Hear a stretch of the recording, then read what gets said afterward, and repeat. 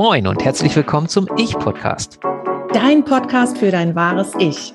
Wir sind Martje und Stefan und wir schnacken mit dir über dein authentisches Leben, Human Design, Selbstheilung und Selbstentwicklung.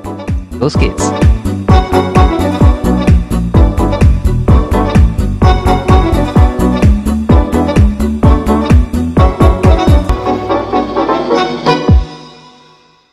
Herzlich willkommen zum Ich-Podcast, einer neuen spannenden Episode. Heute mal wieder mit einem Human Design-Thema.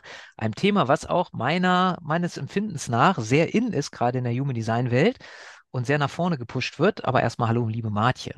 Hallo, Stefan und hallo draußen. Und was sollte es anderes sein als das Thema Inkarnationskreuz? So, für mein Gefühl ist es so, wir haben gerade neulich drüber gesprochen, liebe Martje, ähm, noch bis vor einiger Zeit waren die Variablen total in und jeder, der irgendwie mit Human Design was zu tun hatte, wollte über die Variablen lernen und machen und tun und jeder irgendwie, der nicht bei drei auf dem Baum war, hat einen Kurs rausgebracht mit, ähm, ja, zum Teil doch äh, ganz, wie soll ich das jetzt mal positiv formulieren, spannendem Wissen, ne? Ähm, Wie auch immer. Ähm, und im Moment ist, finde ich, so das Inkarnationskreuz eines der großen Themen.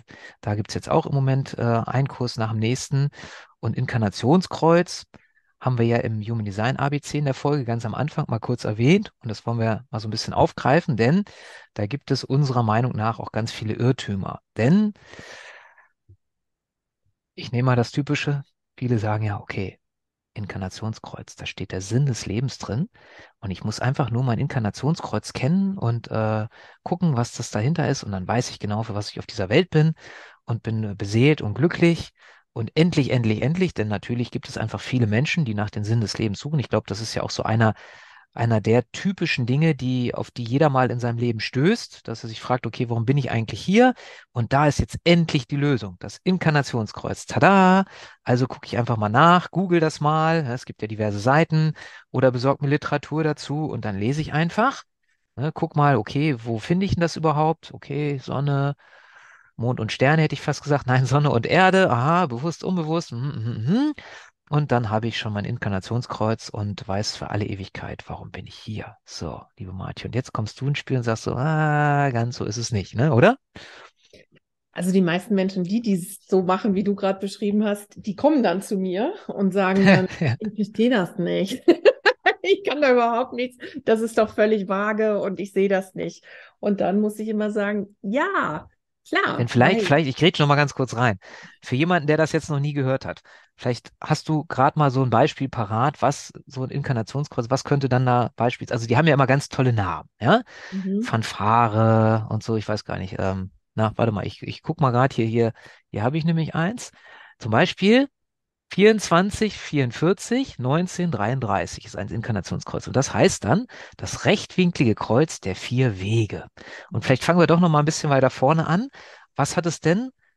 Es gibt ja ein rechtwinkliges und ein linkswinkliges und so. Was hat es denn damit zu tun? Vielleicht können wir da mal kurz anfangen. Ja, ich würde noch eigentlich weiter. Noch einen Schritt weiter vor, okay. Nämlich, was, was ist das? Will überhaupt? ich nicht zu schnell sein. Ne? Ich bin ja gar kein manifestierender Generator, der mal was überspringt, sondern wir fangen dann ganz vorne an, okay. Genau, genau. Also das Ding ist halt dieses Missverständnis, dass viele denken, wenn ich das Inkarnationskreuz weiß, dann weiß ich, was ich konkret in diesem Leben machen muss. Und wenn ich das dann so höre, diese Einstellung, denke ich, ja, aber was soll denn da drin stehen? Du findest mit 30 deinen Traummann, mit 32 habt ihr zwei Kinder und mit 37 wirst du befördert? Oder, also das kann ja da gar nicht drinstehen, aber das ist oft so diese Erwartungshaltung, die da ist. Was das Inkarnationskreuz tatsächlich ist, ist, dass es dir Energien in deinem Leben zeigt, mit denen du arbeitest. Natürlich hat das auch mit dem Lebenssinn zu tun, aber es ist eben überhaupt nicht so konkret wie wir es alle gerne hätten. Ich meine, nicht umsonst boomen immer noch diese komischen Horoskope in den Zeitungen, die für Millionen Menschen angeblich gleich sind, ähm, weil wir Menschen das halt immer einfach gerne genau wissen wollen.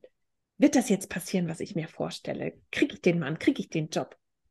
So, das wollen wir immer wissen. Und das ist der große Hype. Ich glaube, deswegen ähm, sind jetzt auch diese Workshops so in, weil eben jeder denkt, oh wow, jetzt finde ich endlich eine Antwort auf diese Frage. Ja. Hm. Ähm, genau, also es gibt aber eben, wie bei den Horoskopen auch, es gibt noch ganz, ganz viele untere Informationen, die einfach diese Kreuze verändern. Ich bin jetzt nicht ganz sicher mit der Nummer, aber ich glaube, es sind 69.120, die verschiedene Inkarnationskreuze, die wir haben, die es geben kann, die halt dann zusammengefasst werden in diese paar, die man in Büchern lesen kann oder so. Und ähm, ja, es setzt sich zusammen aus den zwei Toren der Sonne und den zwei Toren der Erde jeweils, also jeweils den oberen beiden Toren in dieser, in dieser Körpergrafik. Ähm, aber es spielt eben halt noch mehr da rein. Also wie du gerade schon kurz gesagt hast, rechtswinklig und linkswinklig. Ähm, also betrachtet dieser Mensch das Leben mehr aus der eigenen Perspektive. Was hat das alles mit mir zu tun? Oder zum Beispiel mehr aus der Perspektive, also lernt er mehr oder versteht er mehr über das Leben durch die Interaktion mit anderen Menschen? Das ist ja ein, ein himmelweiter Unterschied.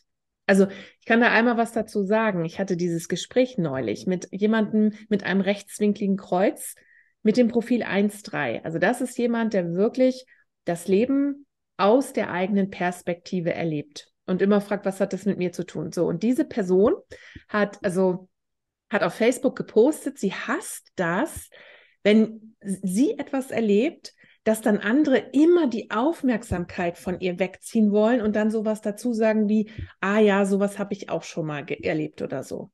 Mhm. Und für mich ist das gar nicht nachvollziehbar, weil wenn ich sowas erlebe, wenn mir jemand sagt, oh, das und das ist mir passiert und es ist total schlimm, ja, dann gibt es natürlich die Möglichkeit, dass ich sage, mir ist was viel Schlimmeres passiert, meins war nämlich so und so. Ja, das ist doof, das will keiner, das ist mir auch klar. Aber wenn ich dazu sage, oh ja, ich verstehe dich, oh, ich kann deinen Schmerz echt fühlen, weil ich habe auch schon mal was Ähnliches erlebt, dann ist es für mich aus meiner Perspektive, aus meiner Juxta-Perspektive eine Form der Verbindung, in der ich einfach zeige, ich sehe dich. So. Und ähm, für diese rechtswinklige Kreuz ist das aber eben, pff, das hat ja mit mir nichts zu tun. Ich erlebe gerade das Schlechte. Also ist eigentlich egal, wer das noch erlebt hat, weil hier geht es ja jetzt gerade darum, dass ich leide, weil ich das Schlimme erlebt habe. Und das ist, so, also ist ein ganz großer Unterschied, wie man halt diese Welt sieht. Und das ist, ähm, wenn man das erkennen kann, ist es schon ganz lustig. Ich finde ja, ich finde ja Human Design meistens ganz lustig. hm. Magst du noch mal, also wir haben jetzt diese rechtswinklig, linkswinklig und so ähm, wie sehe ich die Welt? Und jetzt gibt es ja diese wirklich tollen Namen. Ich habe ja jetzt ja eins hier vorgelesen, rechtswinklige Kreuz, rechtswinklig haben wir der vier Wege. Mhm. Und dann gibt es noch Fanfaren und weiß der Kuckuck was. Also es gibt ja da ganz tolle Beschreibungen. Und was kann ich denn für jemanden, der sowas jetzt noch nicht kennt und jetzt jetzt mitbekommen hat, okay, da steht jetzt eben nicht drin, wann finde ich den Traummann, den Traumjob, wann werde ich befördert, ja, wann werde ich sterben und was weiß ich nicht alles. Ähm, was, was kann ich denn finden jetzt wirklich in diesem Inkarnationskurs? Also für was ist es Nutze? Wieso ist das irgendwie spannend, ähm, sich damit zu beschäftigen? Und auch vielleicht, wann macht es Sinn, ähm, es ist wahrscheinlich eher nicht sinnvoll, als erste Lektion im Human Design, wenn ich noch nie was davon gehört habe, mit dem Inkarnationskreuz anzufangen, oder? Also vielleicht kannst du da mal so eine, so eine deine Erfahrung nach eine Einordnung geben. An mhm. welchem Punkt macht es Sinn, sich damit zu befassen und was kann ich denn jetzt damit anfangen, mit dem Wissen, was ich dadurch kriege? Mhm. Mal abgesehen von den tollen Namen. Ja, also der Rauruhu hat gesagt, es macht keinen Sinn vor Ablauf der ersten sieben Jahre mit Human Design weil sichergestellt sein muss, dass du Strategie und Autorität verstanden und verkörpert hast, bevor es überhaupt Sinn macht, in dieses Thema einzusteigen. Ähm, das will natürlich keiner hören. Ich meine, sieben Jahre ist ewig lang, ja. also da bin ich selber noch nicht. so, ähm, das möchte keiner.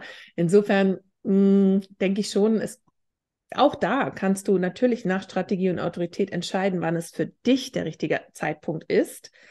Ich glaube allerdings nicht, dass jemand, der in der ersten Sitzung jetzt gerade schon mal zum ersten Mal von seinem Typ gehört hat und von seiner ähm, Autorität gehört hat, dass der das dann schon wirklich korrekt entscheiden kann. Also ich glaube, so ein bisschen Zeit sollte man schon verstreichen lassen, bis man sich dem Thema widmet.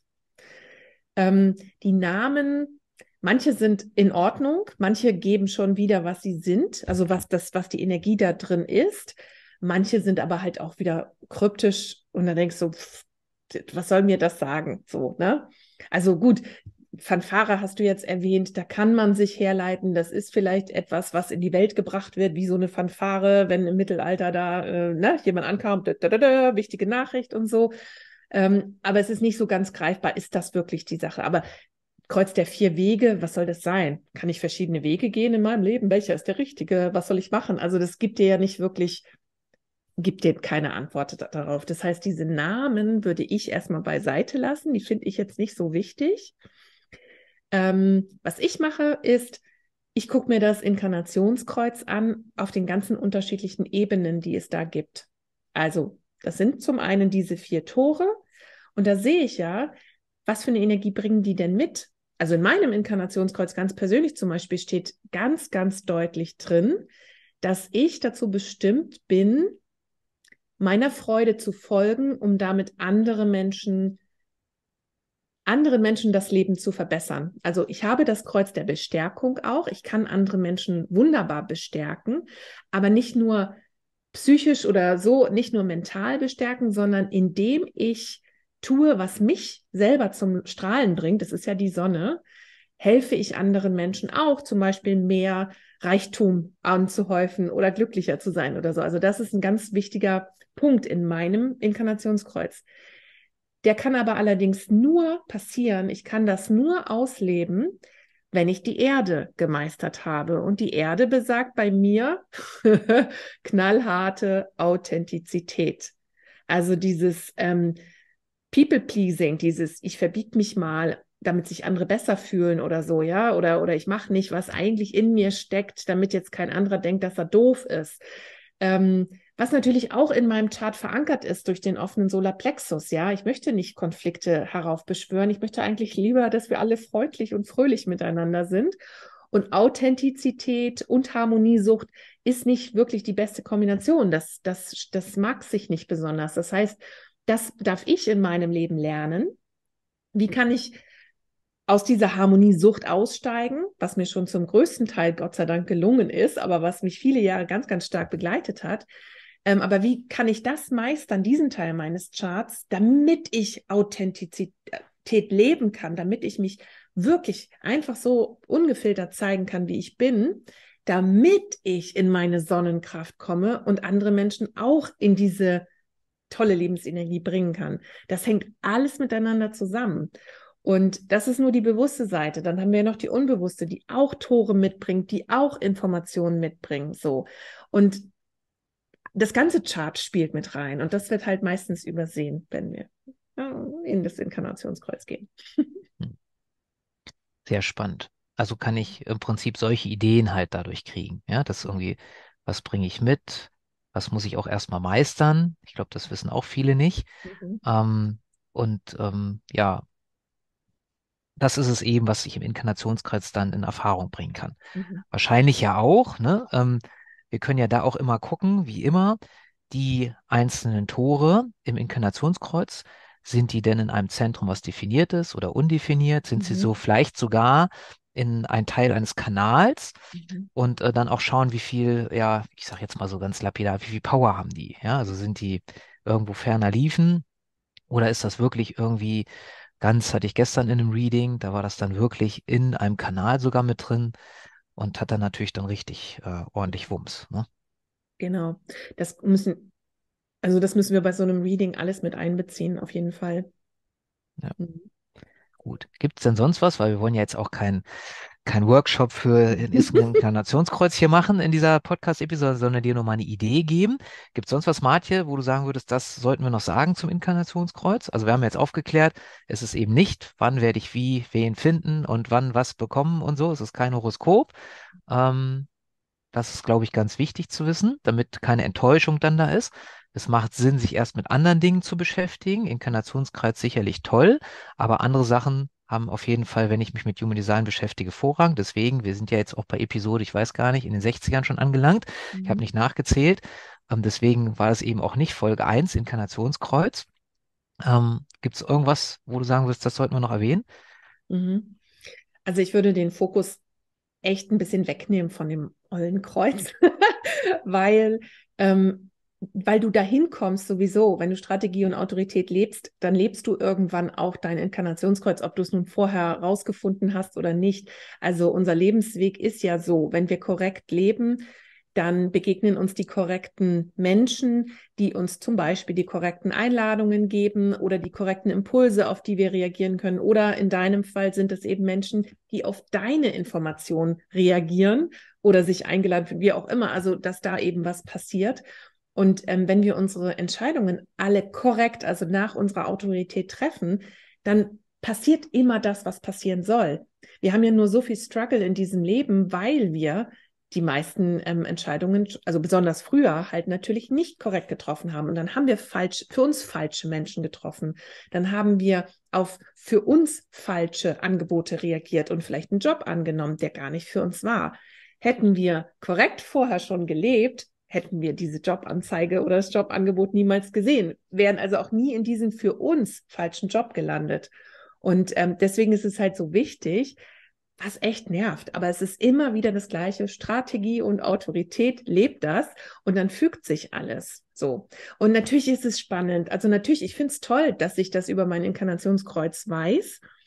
Aber es ist nicht das, was mein Leben verbessert, denn mein Leben wird nur verbessert durch Strategie und Autorität, weil ähm, ohne das komme ich da sowieso nie hin. Hm. Und dann ist es irgendwie auch das, traurig. Ja, und ich glaube deswegen, weil es gibt ja auch Kollegen, die bieten Inkarnationskreuz-Readings explizit an. Mhm. Und deswegen macht es jedenfalls aus meiner Sicht, aber widersprich mir gerne, wenn du es anders siehst, auch Sinn, das auf jeden Fall nicht einfach so einen leeren Raum zu machen, sondern wenn ich die Wahl habe, dann mach lieber ein Basic Reading oder überhaupt erstmal so einen Einstieg ins Human Design, bevor du, wenn du Interesse an sowas hast, äh, sowas dann machst. Denn ich glaube, ja. so ein Basic Reading so bringt dich viel, viel weiter, als wenn man dann, ich weiß gar nicht, ob es Kollegen gibt, die das auch als erstes anbieten, keine Ahnung, aber bestimmt, es gibt ja nichts, was es nicht gibt. Ähm, mach erstmal das ganz normal und leb erstmal da, weil das, wie du auch sagst, Martin, bin ich vollkommen deiner Meinung, das bringt dich weiter. Mhm. Und das andere ist dann im Prinzip so wie, ja, die Sahne auf der Torte oder wie man so schön sagt. Ne? Das ist dann einfach so ein schönes i-Tüpfelchen, kann man sich mal mit beschäftigen, ist aber sicherlich nichts, wo man stirbt, wenn man es jetzt nicht gemacht hat und ähm, was einen jetzt irgendwie im Vergleich zum anderen nicht so weit bringt. Mhm, genau. Zumal basically. Gut, cool. Kleiner Einstieg. Wenn du Fragen hast, melde dich einfach, dann mhm. können wir da auch nochmal tiefer gehen. Ansonsten, ja, freuen wir uns auf die nächste Episode. Es wird wieder spannend, definitiv. Die ja. nächste ist schön. Die nächste ist schön. Sehr gut. Wunderbar. Habt eine schöne Woche. Alles Liebe. Empfehle uns gerne weiter. Auch ähm, über eine tolle Bewertung freuen wir uns sehr auf äh, Apple Podcasts und Spotify und wie sie alle heißen. Alles Liebe, vielen Dank dafür schon mal, denn das ist dann im Prinzip so unser Lohn für den Podcast.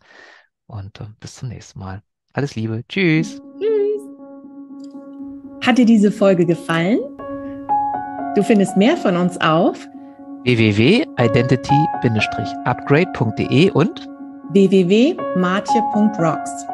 Alle Links findest du auch in den Show Notes.